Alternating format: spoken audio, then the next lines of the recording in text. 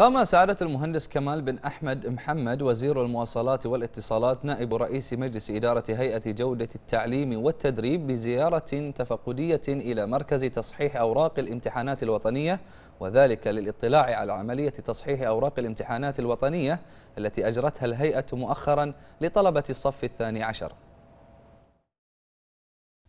بدأت هيئة جودة التعليم والتدريب رحلتها السنوية في عملية تصحيح أوراق الامتحانات الوطنية في اللغتين العربية والإنجليزية بالإضافة إلى حل المشكلات وذلك بمشاركة 259 مصححا واختصاصيا على أن تنشر الهيئة نتائج الامتحانات الوطنية بعد إقرارها من قبل مجلس إدارة هيئة جودة التعليم والتدريب واعتمادها من المجلس الأعلى لتطوير التعليم والتدريب.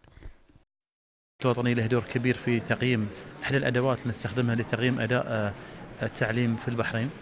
آه، اللي اسمع من الإخوان والأخوات إن أشوف إن السنة الطلبة مهتمين أكثر في الامتحانات الوطنية وهذا جدا مؤشر جيد.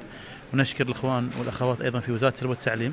معناته إن آه، الجهود المشتركة بين هيئة جودة التعليم والتدريب ووزاره التربية والتعليم والتوجيهات اللي نحصلها من اللجنة العليا لتطوير التعليم والتدريب قاعدة تصب في الطريق الصحيح. تطور الدرجات شيء مهم على أساس إن الاستثمارات اللي تقوم فيها الدولة والحكومة لتطوير الكوادر البشرية والموارد البشرية للبحرين. الامتحانات الوطنية تعتبر مؤشرا جيدا لقياس أداء النظام التعليمي في مملكة البحرين. تقوم بها هيئة ضمان جودة التعليم والتدريب لطلبة مدارس البحرين الحكومية والخاصة والتي تهدف إلى رفع كفاءتها وتحسين أدائها من خلال التقارير الصادرة عن نتائج هذه الامتحانات.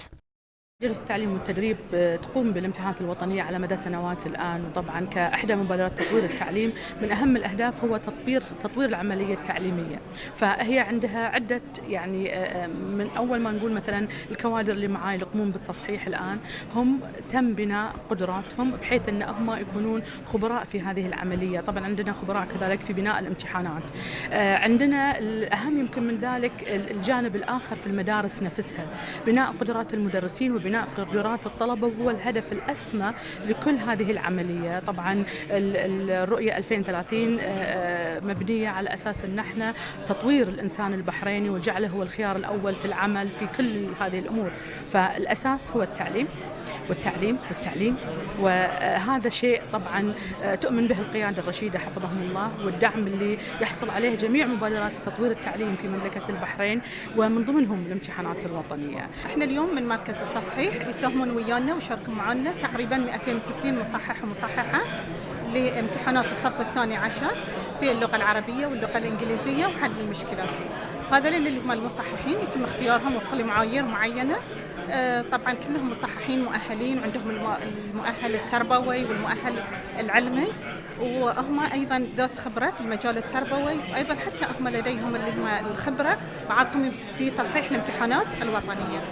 آه، بالنسبة حق المصححين إحنا نختارهم ونقسمهم وفق هيكلية معينة بحيث الشريحة الأكبر اللي هم المصححين نقسمهم إلى فرق كل فريق يرأسه قائد آه، فريق وقائد الفريق يكون مسؤولين عنهم اللي هم آه، رئيس التصفيق وطبعا هذه الهيكلية إحنا نطبقها حق جميع الأوراق لضمان عملية اللي هي التنظيمية للامتحانات آه، الوطنية وتصحيحها.